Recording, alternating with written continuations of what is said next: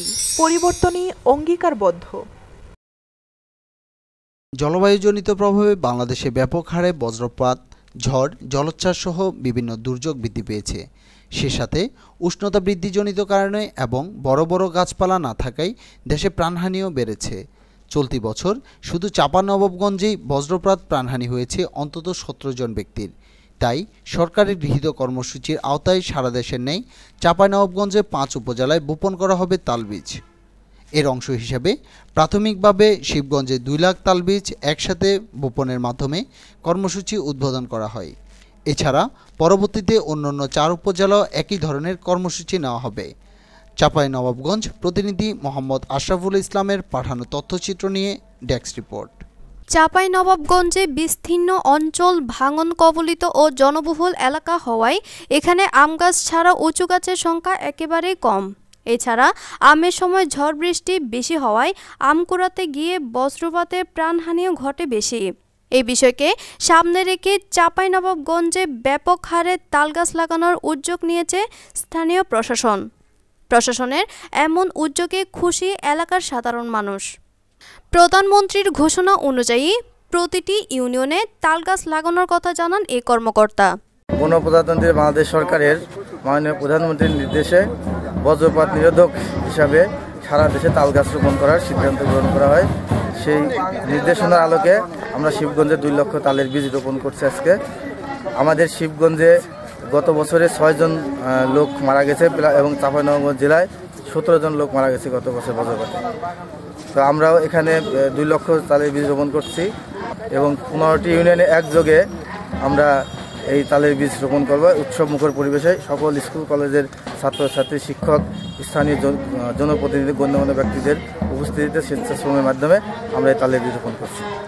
যে বাংলাদেশ জলবায়ু পরিবর্তনের ঝুঁকিতে রয়েছে এবং জলবায়ু পরিবর্তনের যে লক্ষণগুলো সাম্প্রতিককালে বোঝা যাচ্ছে এবং আপনারা দেখেছেন এটি বিভিন্ন রকমের আন্তর্জাতিক সংস্থার গবেষণা এসেছে যে এই রিজিয়নে বাংলাদেশ এবং ভারতের পার্শ্ববর্তী কিছু অঞ্চল সহ এই রিজিয়নে বিগত কয়েক বছরে সর্বাধিক পরিমাণ বজ্রপাত হয়েছে, যেটি আগে কখনো এই মাত্রায় হয়নি। এর ফলে সাম্প্রতিককালে এখানে এই বজ্রপাতের কারণে কিন্তু অনেক জানমালের বিশেষ করে অনেক মানুষ হতাহত হয়েছে বাংলাদেশে। প্রচুর সংখ্যক মানুষ জীবন দিয়েছে বজ্রপাতে। কারণ এটির এইটি অনেকেই বলতে চাচ্ছেন যে এটি একটি প্রাকৃতিক দুর্যোগ এবং এই দুর্যোগটির কোনো পূর্বাভাস আগে থেকে পাওয়া যায় না এবং ভবিষ্যতে জলবায়ু পরিবর্তনের ঝুঁকি বাংলাদেশের জন্য আরও বাড়তে পারে। সেই জন্য আহ, তাল গাছ একটি সহায়ক বিষয়। এটি প্রাকৃতিকভাবে একসময় ছিল যে উঁচু তাল গাছগুলো এই বজ্রপাতগুলোকে আগেই অ্যাবজর্ব করে নিত এবং নিচে থাকা মানে মাঠে বা বাড়িতে থাকা মানুষজন বা অন্যান্য গবাদি পশু বা অন্যান্য জীবন্ত কোনো প্রাণী তারা ক্ষতিগ্রস্ত হতো না। তো এটি নানা কারণে প্রাকৃতিক পরিবর্তনের কারণে মানুষজন আমরা এখন আর এই পরিমাণ তাল গাছ দেখতে পাই না। তো তাই মাননীয় প্রধানমন্ত্রী ঘোষণা করেছেন, আবারও তাল গাছ লাগাতে হবে। এটি মাঠে, রাস্তার পাশে এই ধরনের খোলা জায়গা, অব্যবহৃত খোলা জায়গা, এগুলোতে যদি তাল গাছ লাগানো হয়, তাহলে ভবিষ্যতে যেমন আপনার এই বজ্রপাতের ঝুঁকিটি মোকাবেলা করা সম্ভব হবে তেমনি তাল গাছ কিন্তু আমাদের প্রকৃতি বান্ধব।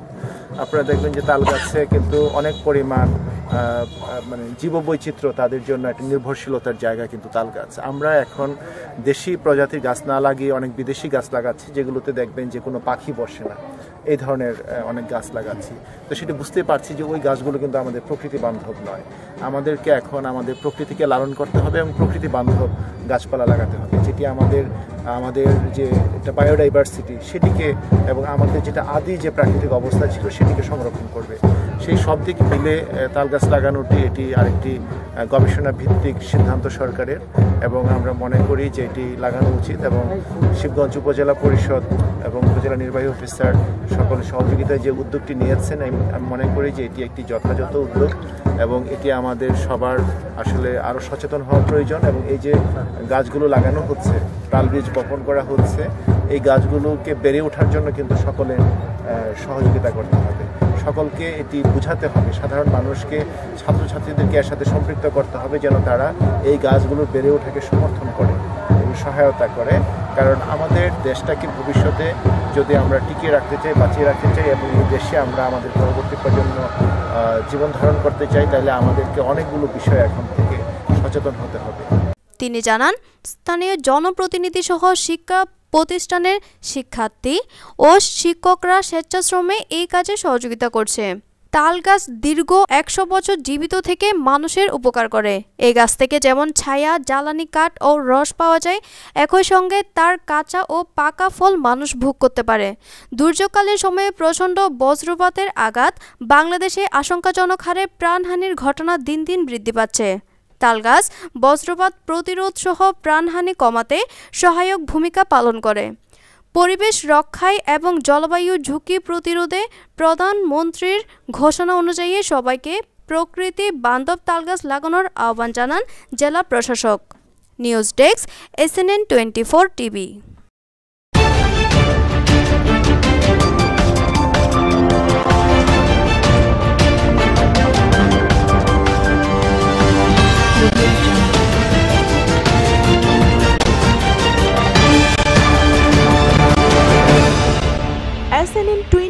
TV পরিবর্তনই অঙ্গীকারবদ্ধ।